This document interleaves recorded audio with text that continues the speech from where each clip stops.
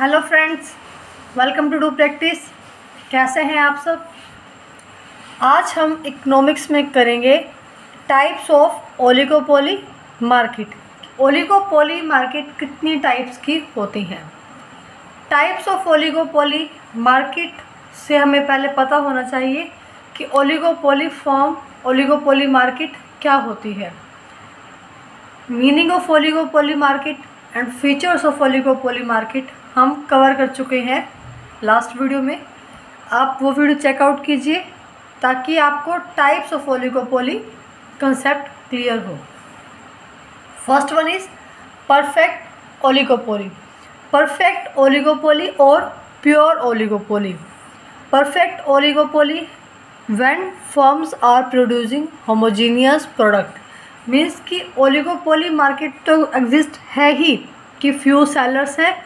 और बायर हैं और सेलर्स बहुत कम हैं। परफेक्ट कंपटीशन की तरह भी नहीं है कि large number of sellers and large number of buyers monopoly की तरह भी नहीं है कि only one seller and large number of buyers and monopolistic की तरह भी नहीं है। ओलिगोपोली मीन्स कि बायर्स लार्ज नंबर में है और सेलर क्या है? फ्यू हैं। बट सेलर फ्यू है बट वो बिग है। मीन्स सेलर सेल करने वाले उस कम्योडिटी को कम है बट वो फॉर्म इतनी बड़ी है, इतना ज़्यादा प्रोडक्शन करती है कि वो तीन से चार फॉर्म और सेवन टू एट फॉर्म भी पूरी मार्केट को कवर कर देती है। जैसे परफेक्ट कंपटीशन में क्या है कि बहुत सारे सेलर्स हैं और बहुत सारे लार्ज नंबर ऑफ़ सेलर्स हैं and large number of buyers हैं। बट ओलिगोपोली में क्या है कि आपके जो सेलर्स हैं, वो वेरी फ्यू हैं कि और वो जो फ्यू सेलर्स हैं, वही पूरी मार्केट में सेल करते हैं, वही पूरी मार्केट को कवर करते हैं। तो परफेक्ट ओलिगोपोली मीन्स कि when firm are producing homogeneous product कि वो फॉर्म जो होमोजीनियस प्रोडक्ट प्रोड्यूस कर रही है लाइक सीमेंट सीमेंट ये जो फॉर्म है, वो सीमेंट प्रोड्यूस कर रही है, या स्टील तो that firms producing homogeneous means जो same type of commodity same type of product जो प्रोड्यूस कर रही है, उसको हम कहेंगे perfect oligopoly for example cement और steel second one is imperfect oligopoly perfect means की फॉर्म जो है सेम प्रोडक्ट और होमोजीनियस प्रोडक्ट प्रोड्यूस कर रही है। दैट मीन कि जो प्रोडक्ट वो प्रोड्यूस कर रही है, वो क्लोज सब्सटीट्यूट है। जैसे अब दो फॉर्म है, एक ए फॉर्म भी स्टील प्रोड्यूस कर रही है एंड बी फॉर्म भी स्टील प्रोड्यूस कर रही है। तो दोनों के स्टील प्रोडक्शन दोनों ही स्टील प्रोडक्शन कर रहे हैं। तो यहाँ पे कंज्यूमर के के पास ऑप्शन है कि वो ए फर्म से भी स्टील परचेज़ कर सकता है और बी फॉर्म से भी स्टील परचेज़ कर सकता है। बस जो दोनों फॉर्म है, वो होमोजीनियस प्रोडक्ट प्रोड्यूस कर रही हैं और दोनों ही जो प्रोडक्ट है, वो क्लोज सब्सिट्यूट है। कि ऐसे कोई बाउंडेशन नहीं है कि consumer A good A firm का ही स्टील परचेज करेगा या बी का नहीं करेगा। उस कंज्यूमर के पास दोनों ही ऑप्शन है। और दोनों ही प्रोडक्ट क्या है? क्लोज सब्सिट्यूट है। स्टील चाहे ए फॉर्म प्रोड्यूस करे, चाहे बी करे, दोनों ही क्या रहेंगे? क्लोज सब्सिट्यूट रहेंगे। Second is imperfect oligopoly when firms produce differentiated production differentiated product तो बिल्कुल सेम वही पॉइंट है। परफेक्ट में क्या है? कि जो फॉर्म है, वो होमोजीनियस प्रोडक्ट प्रोड्यूस करती है। That means same type of product and imperfect oligopoly means कि जहाँ पे फॉर्म है वो differentiated means different product produce करती हैं। One firms produce different production और product for example a firm है, वो सीक्रेट प्रोड्यूस कर रही है, और जो बी फॉर्म है, वो सॉफ्ट ड्रिंक प्रोड्यूस कर रही है। तो बोथ आर डिफरेंट जो फॉर्म्स हैं, वो दोनों अलग अलग प्रोडक्शन कर रही हैं, दोनों अलग अलग प्रोडक्ट प्रोड्यूस कर रही हैं। तो that is known as imperfect oligopoly that mean की firms are few but they cover whole market और producing differentiated product third one is duopoly duopoly when there are only two giant firm giant that mean बड़ी firm large firm in any industry when firms are कि जब पूरी industry में क्या हो सिर्फ़ दो फॉर्म ही है या दो बड़ी फॉर्म है जो होल मार्केट को, पूरी मार्केट को कवर करती हैं। For example in soft drink की अगर हम बात करें तो कोको कोला एंड पेप्सी ये दो फॉर्म ऐसी हैं और ये बड़ी फॉर्म है लार्ज फॉर्म है इंडस्ट्री के अंदर, जो पूरी मार्केट को कवर करती है। तो डिओपोली सिंपल सा एग्जांपल डिओपोली डिओ मीन्स क्या होता है? दो and poly means duo means दो। और कि जहाँ पे दो ही फॉर्म है मार्केट में या इंडस्ट्री में, उस इंडस्ट्री में दो ही फॉर्म है जो होल मार्केट कवर कर रही है, जैसे कोको कोला एंड पेप्सी। ये सॉफ्ट ड्रिंक की इंडस्ट्री में दो ऐसी बड़ी फॉर्म हैं जो मार्केट को कवर करती हैं तो that is known as duopoly next one is bilateral monopoly bilateral monopoly that mean हमने मोनोपोली पढ़ा है ओलिगोपोली पढ़ लिया। What is oligopoly and what is perfect competition market what is monopolistic competition market तो एक तो होता है मोनोपोली और एक होता है bilateral monopoly both terms are different monopoly में हमने क्या पढ़ा था कि one seller and large number of buyers that is monopoly कि एक ही सेलर है और बायर्स बहुत ज़्यादा हैं। And what is bilateral monopoly that mean कि where a single seller faces a single buyer means कि जहाँ पे जो सिंगल सेलर है, वो सिंगल बायर को फेस कर रहा है। जहाँ पे आपका सेलर भी एक ही है और बायर भी एक ही है। मोनोपोली में क्या था? कि सेलर सिंगल है बट बायर्स बहुत सारे हैं, बहुत ज़्यादा बायर्स हैं। बट बायोलेटरल मोनोपोली और मोनोपोली में डिफरेंस यही है कि बायोलेटरल में एक सेलर एंड एक बायर और मोनोपोली में one seller and large number of buyers bilateral monopoly like Wikipedia की सेल करने वाला भी उसको विकीपीडिया ही है और वो हर बायर को फेस करता है मीन्स हर कंज्यूमर को जो भी उस पर सर्च किया जाता है उसी के अकॉर्डिंग वो उनको रिज़ल्ट प्रोवाइड करता है। तो वहाँ पे हर सेलर हर एक सिंगल बायर को फेस कर रहा है। उनकी नीड के अकॉर्डिंग उनको डाटा प्रोवाइड कर रहा है। That is bilateral monopoly where a single seller faces a single buyer no other seller and no other buyer next है कोल्यूजिव एंड कोऑपरेटिव ओलिगोपोली हमने स्टार्टिंग में जब ओलिगोपोली का मीनिंग किया था तो हमने एक टर्म पढ़ी थी कि जो फर्म्स हैं, वो क्या करती है आपस में? कंपटीशन करती हैं। कंपटीशन इन काइंड ऑफ़ कि जो फर्म है फॉर एग्ज़ाम्पल कार प्रोड्यूस करने वाली दो फर्म है। एक फोर्ड फर्म थी, एक फोर्ड कंपनी है और एक टोयोटा कंपनी है। ठीक है? तो जो, अगर टोयोटा कंपनी अपनी फर्म अपनी कार के जो प्राइसेस हैं, उनको कम करती है मीन्स टोयोटा कंपनी अगर अपनी कार के प्राइसेस को कम करेगी तो फोर्ड कंपनी भी अपनी कार के प्राइसेस को कम कर देगी। Means both are in competition कि अगर टोयोटा वाले अपनी कार के प्राइसेस को कम करेंगे तो फोर्ड वाले भी अपनी कार के प्राइसेस को कम कर देंगे। क्यों? क्योंकि अगर फोर्ड वाले ने अपने कार के प्राइसेस को कम नहीं किया तो सेल किसकी इंक्रीज़ होगी? टोयोटा वाले की। तो इस वजह से फोर्ड कंपनी भी अपने कार के प्राइसेस को कम कर देगी। और इन केस कि अगर टोयोटा वाले अपने कार के प्राइसेस को इंक्रीज़ कर देते हैं तो ये कोई कंपलसरी नहीं है नेसेसरी नहीं है कि फोर्ड वाले भी अपने कार के प्राइस को इंक्रीज़ करेंगे। अगर टोयोटा वाले अपने कार के प्राइस को कम करते हैं तो डेफिनेटली फोर्ड वाले भी अपने कार के प्राइस को कम करेंगे।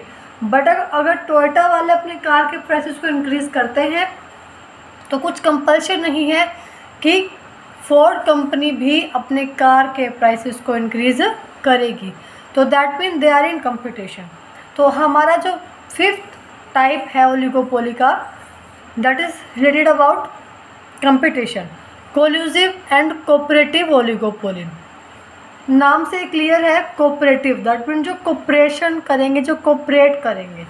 तो इसमें कोल्यूसिव एंड कोऑपरेटिव ओलिगोपोली को अगर हम वन वर्ड में डिफाइन करें तो दैट इज़ ब्रदरहुड मीन्स भाईचारा कि जितनी भी फर्म्स मार्केट में हैं वो क्या करेंगी? आपस में भाईचारा बना लेंगी एक एग्रीमेंट कर लेंगी कि हम उसी प्राइस पे उसी आ, उतना ही आउटपुट करेंगे सेम प्राइस पे सेल करेंगे। वो क्या करते हैं? कोल्यूसिव एंड कोऑपरेटिव ओलिगोपोली में एक एग्रीमेंट बना लेते हैं और कि जितनी भी फॉर्म्स हैं वो उसी एग्रीमेंट के थ्रू अपना सेल करेंगी। एग्रीमेंट में क्या मेंशन होगा कि उन एक पर्टिकुलर फॉर्म को इतना प्रोडक्शन करना है और इतने प्राइस पे सेल करना है। That mean all firm decided to avoid competition through a formal agreement जितने भी फॉर्म्स मार्केट में होती हैं, वो सभी अवॉइड करती हैं कंपटीशन को। कि मीन्स जितनी भी फॉर्म्स हैं, वो कंपटीशन नहीं करना चाहती, वो सभी भाईचारा बना के एक एग्रीमेंट करेंगी। और उस एग्रीमेंट में किस प्राइस पे हमें कार सेल करनी है? फॉर एग्ज़ाम्पल किस प्राइस पे हमें कार सेल करनी है? कितना कार का आउटपुट रखना है? कितना हमें कार का प्रोडक्शन करना है? वो सब कुछ क्या करेंगे? वो पहले से ही डिसाइड कर लेंगे। ताकि अगर Ford Ford company five lakh rupees में अपनी कार सेल कर रही है तो टोयोटा वाले भी अपनी कार को फाइव लाख रुपीज़ में ही सेल करेगी। उनके बीच में कोई कंपटीशन नहीं होगा। एक एग्रीमेंट बन चुका है कि हम इसी प्राइस पे सेल करेंगे। दैट इज़ मार्केट प्राइस तो firms a cartel and fix for themselves output and output quota और मार्केट प्राइस वो एक कार्टेल फॉर्म कर लेते हैं एग्रीमेंट बना लेते हैं और उस एग्रीमेंट में फिक्स कर लेते हैं कि हमें कितना आउटपुट और मार्केट प्राइस फिक्स कर लेते हैं। और उसी प्राइस पे उसी आउटपुट कोटा के अंदर वो अपना जो है बिज़नेस कंटिन्यू करते हैं, अपनी कंपनी कंटिन्यू करते हैं, ना वो ज़्यादा आउटपुट रखते हैं और ना ही उस प्राइस से ज़्यादा वो सेल करते हैं। क्योंकि एग्रीमेंट उनके बीच में हो चुका है, वो सभी फॉर्म कोऑपरेटिव हैं कोऑपरेट कर रही हैं, उसी एग्रीमेंट के थ्रू वो सेल करेंगी, उसी एग्रीमेंट के थ्रू वो आउटपुट करेंगी, ताकि उनके बीच में कोई कंपटीशन ना हो।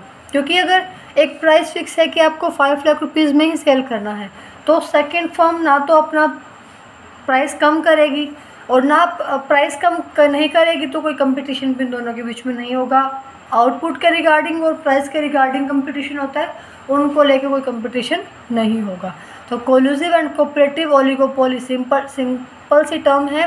कोऑपरेटिव दैट मीन कि सभी फॉर्म कंपटीशन से बचना चाहती हैं और सभी फॉर्म कंपटीशन को अवॉइड करती हैं कि एग्रीमेंट बना लेती हैं और उस एग्रीमेंट पे प्राइस किस पे सेल करेंगे, किस प्राइस पे सेल करेंगी, कितना आउटपुट कोटा रहेगा, वो सब कुछ वो डिसाइड करते हैं। Second one is non collusive and non cooperative बिल्कुल अपोजिट है ये कोल्यूसिव और कोऑपरेटिव ओलिगोपोली के।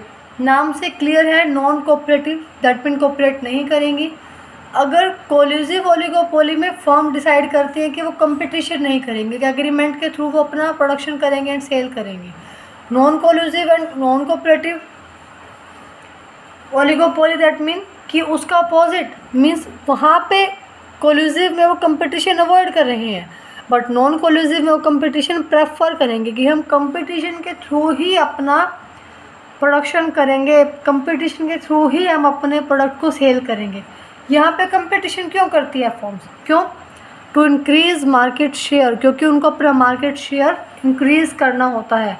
Same like that first example कि अगर टोयोटा वाले अपने कार के प्रोडक्शन को ज़्यादा करते हैं या प्राइस को कम करते हैं if Toyota price decreases Ford also price decreases because अगर टोयोटा फोर्ड कंपनी वाले अपने कार के प्राइस को डिक्रीज़ नहीं करेंगे तो उनका मार्केट शेयर क्या हो जाएगा? कम, क्योंकि फिर टोयोटा वाले का मार्केट शेयर इंक्रीज़ हो जाएगा। कंज्यूमर ज़्यादा कहाँ जाएँगे? टोयोटा कंपनी की तरफ़, क्योंकि उनके प्राइसेस क्या हैं? कम। तो इसी वजह से नॉन कोलिजिव में कंपटीशन प्रेफर करते हैं, ताकि उनका मार्केट शेयर अपना इंक्रीज़ कर सके वो। नॉन कोलिजिव में कट थ्रोट कंपटीशन रहता है, कि वो कंपटीशन करते हैं कंपटीशन ही प्रेफर करते हैं। And independent price and output policy यहाँ पे क्या रहता है कि जो प्राइस है वो इंडिपेंडेंट है। अब पॉलिसी में क्या था कि प्राइस डिपेंडेंट होता है कि एक फॉर्म दोनों फॉर्म डिपेंडेंट है, उस सेम प्राइस फॉलो करना पड़ेगा। बट नॉन कोलिजिव में क्या है कि प्राइस इंडिपेंडेंट है। हर फॉर्म अपने अकॉर्डिंग प्राइस सेट करती है, वो प्राइस को लेकर किसी और फॉर्म पे डिपेंडेंट नहीं है। एंड रिगार्डिंग आउटपुट पॉलिसी उनकी आउटपुट पॉलिसी भी क्या है, यहाँ पर इंडिपेंडेंट है। वो अपने अकॉर्डिंग आउटपुट करेंगी, मे बी वो आउटपुट कम करें और मे बी ज़्यादा करें। तो जो, यहाँ पे इंडिपेंडेंट प्राइस है और पॉलिसी आउटपुट पॉलिसी दोनों ही इंडिपेंडेंट है। प्राइस भी और आउटपुट पॉलिसी भी। वो किसी एग्रीमेंट को लेकर, किसी अदर फॉर्म्स के को लेकर डिपेंडेंट नहीं है। तो simple collusive competition avoid and firms agreement regarding price and output quota and non-collusive competition prefer to increase market share and independent regarding price and output policy simple सा meaning था इनका उसके बाद है the other types of oligopoly उसके बाद है open oligopoly open means open open means कि यहाँ पे जो फॉर्म है उनकी एंट्री और एग्ज़िट पे कोई बैरियर नहीं है हालाँकि हमारी मार्केट में फ्यू फॉर्म्स होती हैं फॉर्म्स बहुत कम होती हैं, जो होल मार्केट को कवर करती हैं मीन्स वो फ्यू मार्केट फ्यू फॉर्म ही प्रोडक्शन करती हैं और वही होल मार्केट में कंप्लीट मार्केट में सेल होता है।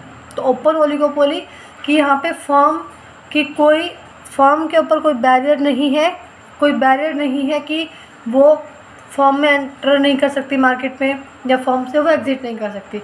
कोई भी न्यू फॉर्म मार्केट में एंटर कर सकती है और मार्केट से एग्ज़िट कर सकती है ओल्ड मार्केट अगर उनको लॉस हो रहा है या किसी और रीज़न से वो एग्ज़िट कर सकती हैं और कोई भी न्यू फॉर्म मार्केट में एंटर भी कर सकती है in the open oligopoly second one is close oligopoly means की barrier to entry and exit of firm close means के जो हमारी ओलिगोपोली मार्केट है वो क्या है? क्लोज हो चुकी है। कोई न्यू फॉर्म मार्केट में आ नहीं सकती और कोई ओल्ड फॉर्म मार्केट से जा नहीं सकती। ठीक है, वो हमारी जो ओलिगोपोली मार्केट है, वो क्या है? क्लोज हो चुकी है। कोई न्यू फॉर्म मार्केट में नहीं आ सकते बिकॉज़ ऑफ़ टेक्नोलॉजी इतनी एडवांस है कि कोई भी नई फॉर्म उसको अडोप्ट नहीं कर सकती या उसको कुछ टेक्निकल इसकी वजह से भी नहीं आ सकती। वो ह्यूज कैपिटल चाहिए यहाँ पे आने के लिए कि अगर आपको इस ओलिगोपोली मार्केट में एंटर होना है तो उस फॉर्म के पास ह्यूज इन्वेस्टमेंट हो उसके पास पेटेंट हो, तभी वो उस मार्केट में एंटर हो सकती है। तो इसी वजह से कुछ बैरियर्स हैं, जिसकी वजह से वो मार्केट में एंटर नहीं हो सकते। Third one is partial oligopoly partial oligopoly means जहाँ पे प्राइस लीडर होता है, जो प्राइस लीडर है, वही लीड करता है। प्राइस को मीन्स जो प्राइस लीडर है वो एक प्राइस सेट करेगा और वही प्राइस फॉलो करेंगे other firms so partial that mean कि जहाँ पे प्राइस लीडर है जो आपको प्राइस सेट करके देता है और वही बाकी फॉर्म्स उसको अडोप्ट करती हैं. And other is impartial oligopoly impartial means opposite है कि पार्शियल में क्या है कि प्राइस लीडर है, है जो आपको प्राइस सेट करके देगा और वही प्राइस फॉलो करना पड़ेगा. और इम्पार्शियल क्या है उसका अपोजिट मीन्स कि आप प्राइस लीडर नहीं एग्जिस्ट करता उस टाइम मार्केट में और जो प्राइस है वो इंडिपेंडेंट है, हर फर्म अपने अकॉर्डिंग प्राइस सेट करती है और पार्शियल में क्या है कि प्राइस लीडर सेट करेगा प्राइस और वही प्राइस सबको फॉलो करना पड़ेगा। तो ये थे टाइप्स ऑफ़ ओलिगोपोली बिल्कुल सिंपल सा कंसेप्ट है तो कि डिओपोली क्या है बायोलेट्रल मोनोपोली क्या है। जस्ट आपको मीनिंग भी क्लियर होगा, तब भी आप इनके एग्जाम्पल्स को फाइंड आउट कर सकते हैं और जो क्वेश्चंस आते हैं नेट के एग्ज़ाम में, वो भी सॉल्व हो सकते हैं। ओपन ओलिगोपोली क्या है? Collusive and non-collusive oligopoly are most important from the topic of types of oligopoly.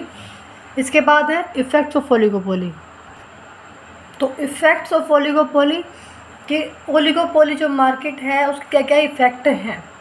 First is small output और रिस्ट्रिक्शन ऑन आउटपुट कि मीन्स हमने भी ओलिगोपोली के मीनिंग में क्या पढ़ा था? कि जो फॉर्म है, वो अदर फॉर्म्स को देख के अपनी आउटपुट पॉलिसी और अपने प्राइस पॉलिसी को अडोप्ट करती हैं कि अदर फर्म्स कैसा प्रोडक्शन कर रही हैं अदर फर्म्स कितना आउटपुट कर रही हैं अदर फर्म्स किस प्राइस पे अपने जो है प्रोडक्शन को, अपने गुड्स को सेल कर रही हैं। तो उनकी अगर अगर ए फर्म अगर ये फर्म बी फर्म को, की आउटपुट पॉलिसी अडोप्ट करती है तो इससे क्या होगा कि मे बी बी पोली जो बी फर्म है वो कम आउटपुट कर रही हो। या वो आउटपुट ना कर रही हो, ज़्यादा प्राइस पे वो सेल कर रही है तो बिल्कुल सेम कौन अडोप्ट करेगा ए फर्म तो इससे क्या होगा, जो उनका आउटपुट है वो कम होगा मीन्स ए फर्म का आउटपुट क्या होगा, कम होगा। ओलिगोपोली फर्म मार्केट की वजह से ओलिगोपोली मार्केट है सेलर्स कम है तो और वो फ़र्स्ट वो फॉल की सेलर्स कम है एंड सेकंड कि वो सेलर्स भी आपस में क्या कर रहे हैं? कंपटीशन कर रहे हैं कि अदर फर्म्स किस प्राइस पे सेल कर रही हैं अदर फर्म्स किस आउटपुट पे सेल कर रही हैं। तो यही रीज़न है कि यहाँ पे आउटपुट पे एक टाइप से रिस्ट्रिक्शन लग जाता है या आउटपुट हमारा कम अमाउंट में होना शुरू हो जाता है, क्योंकि हम दूसरी फर्म्स की, दूसरी फर्म्स को देख के आउटपुट पॉलिसी अडोप्ट करते हैं। Second in higher price high prices क्यों है ओलिगोपोली मार्केट में? Because of first of all जो फर्म है ओलिगोपोली फर्म वो हाई प्राइस सेट करती है। सबसे पहले तो सेलर्स कम है तो वो स्टार्टिंग से ही हाई प्राइस फिक्स करते हैं।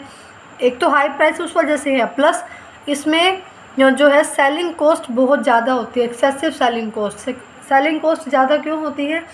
जैसे कि excessive selling cost selling cost excessive क्यों है? क्योंकि जो फर्म है ए फर्म भी कार प्रोड्यूस कर रही है एंड बी फर्म भी कार प्रोड्यूस कर रही है। कंज्यूमर को कैसे पता चलेगा कि कौन सी कार बेस्ट है? किसका प्राइस कितना है? किसमें क्या सर्विसेज़ एक्स्ट्रा है?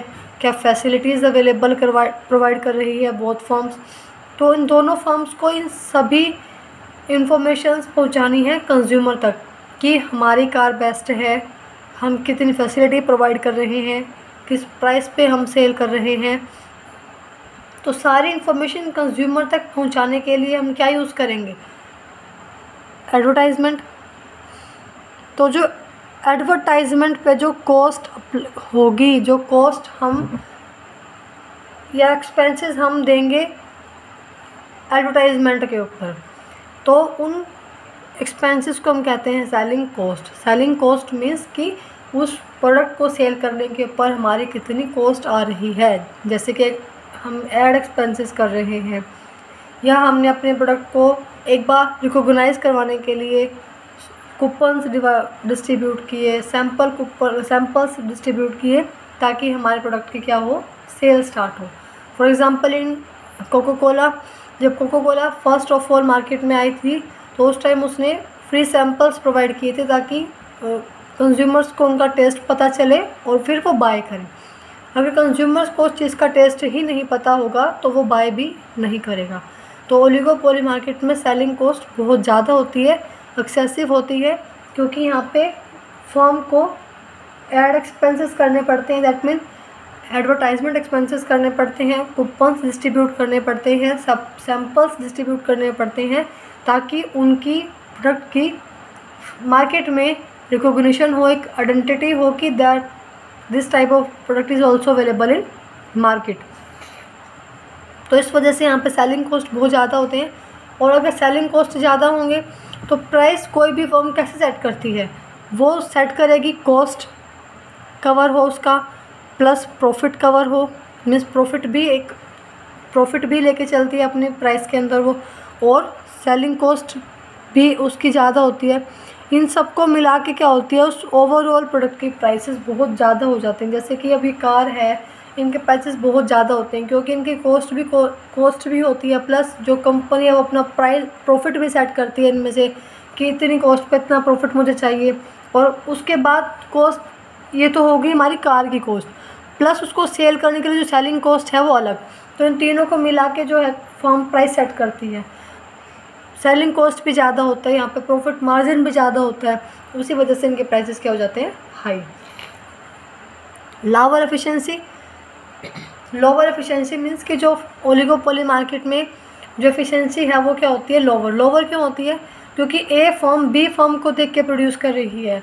ए फॉर्म बी फॉर्म को देख के प्रोड्यूस कर रही है. ए फॉर्म बी फॉर्म की आउटपुट पॉलिसी अपना रही है.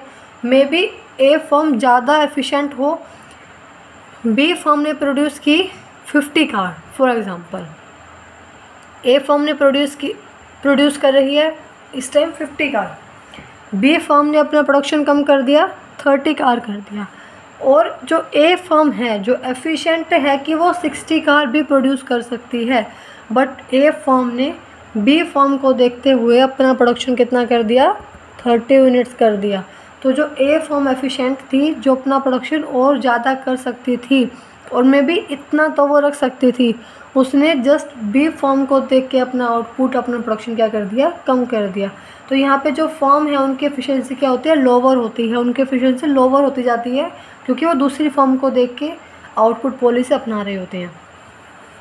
Next one is price exceed average cost that mean average revenue क्योंकि जो हमारा एवरेज रिवेन्यू है वो प्राइस के इक्वल होता है। तो प्राइस एक्सीड एवरेज कॉस्ट जो एवरेज कॉस्ट हमारी उस प्रोडक्ट को बनाने में कॉस्ट जितनी भी है, जो एवरेज कॉस्ट है, उससे ज़्यादा क्या होता है हमारा प्राइस और एवरेज रिवेन्यू मीन्स हम अब इतना ज़्यादा प्राइस सेट रखते हैं कि वो एवरेज कॉस्ट भी उसमें कवर हो जाए प्रॉफिट भी कवर हो जाए सेलिंग कॉस्ट भी कवर हो जाए, जो प्राइस है वो हमारा एवरेज कॉस्ट को एक्सीड करता है। क्योंकि इसमें हाई प्राइस सेट होता है तो ओवरऑल सीधी सी बात है कि वो एवरेज कॉस्ट से भी ज़्यादा होगा और हाई प्राइस क्यों होता है? क्योंकि प्रॉफिट मार्जिन ज़्यादा है सेलिंग कॉस्ट ज़्यादा है और उसको प्रोडक्शन को करने के लिए कॉस्ट तो ज़्यादा होती ही है। This type of goods car है जैसे कि इनको बनाने के लिए कॉस्ट भी ज़्यादा होती है।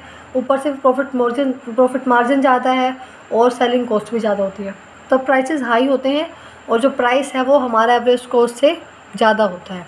तो ये थे हमारे effect of oligopoly and types of oligopoly I hope आपके कंसेप्ट क्लियर हुआ होगा कि ओलिगोपोली मार्केट क्या है फीचर्स क्या होते हैं ओलिगोपोली मार्केट के क्या क्या टाइप्स हैं ओलिगोपोली मार्केट की और ओलिगोपोली मार्केट में क्या क्या इफ़ेक्ट होते हैं एफिशिएंसी कैसी होती है सेलिंग कॉस्ट होती है, नहीं होती प्राइसेस कितने सेट होते हैं, सब कुछ इफ़ेक्ट है ओलिगोपोली मार्केट की। अगर आपको इस टॉपिक में कुछ भी डाउट है तो आप कमेंट कीजिए। कमेंट सेक्शन आपके लिए ही है कि अगर आपको वीडियो अच्छी लगती है तो आप कमेंट कीजिए ताकि हमें मोटिवेशन मिले कि आपको अच्छी लग रही है वीडियो कंटेंट अच्छा लग रहा है, समझ में आ रहा है अंडरस्टैंडेबल है कंटेंट और अगर आपको कोई कमी लग रही है तो आप कमेंट में बताइए ताकि वो कमी नेक्स्ट वीडियो में इम्प्रूव हो सके। अगर आप कमेंट ही नहीं करेंगे पॉजिटिव और नेगेटिव तो ना तो हमें कोई रिस्पॉन्स नहीं मिलेगा कि वीडियो अंडरस्टैंडेबल है या नहीं है या कहाँ कमी है। तो कमेंट किया करें। और साथ साथ अगर आप चैनल पर न्यू है तो चैनल को सब्सक्राइब कीजिए ताकि आपको नेक्स्ट आने वाले वीडियो की नोटिफिकेशन मिल जाए। और इस वीडियो को अच्छी लगी है तो वीडियो को लाइक कीजिए शेयर कीजिए एंड कमेंट कीजिए। शेयर कीजिए अपने फ्रेंड्स के साथ जो इस टॉपिक को प्रिपेयर कर रही हैं ताकि उनको हेल्प मिले। और सब्सक्राइब कीजिए चैनल को ताकि आपको नोटिफिकेशन मिले नेक्स्ट आने वाली वीडियो का।